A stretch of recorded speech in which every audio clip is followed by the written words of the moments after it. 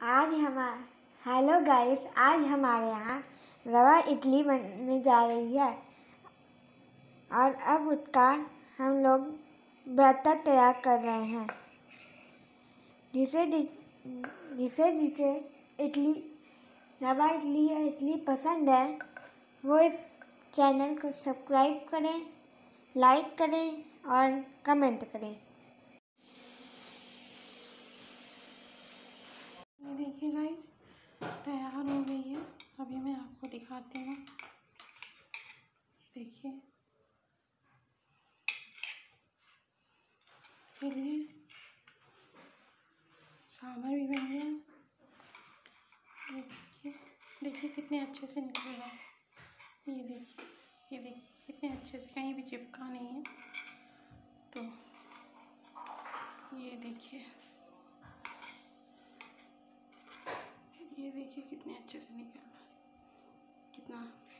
Yummy और कितने कितना स्पंजी टाइप बना है। और अभी सांभर फ्राई करते हैं। चलिए सांभर दिखा देते हैं आपको। चलिए तो ये देखिए सांभर ये देखिए।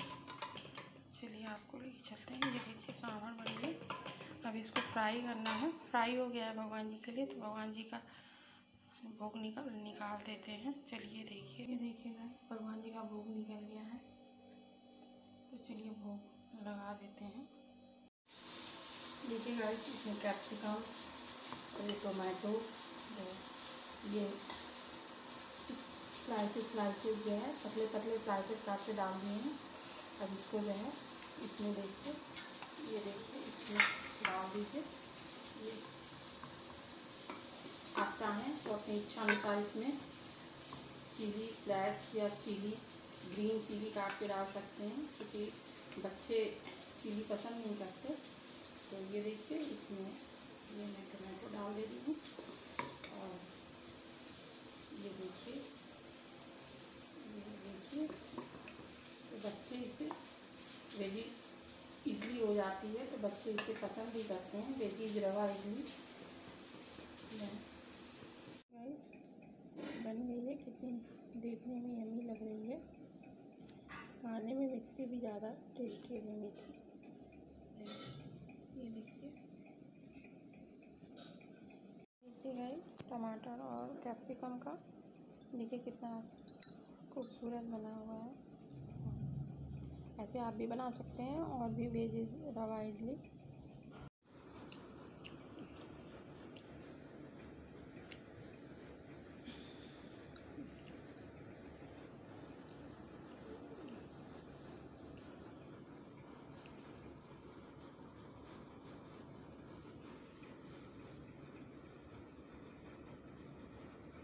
ये रवा डोसा बना है।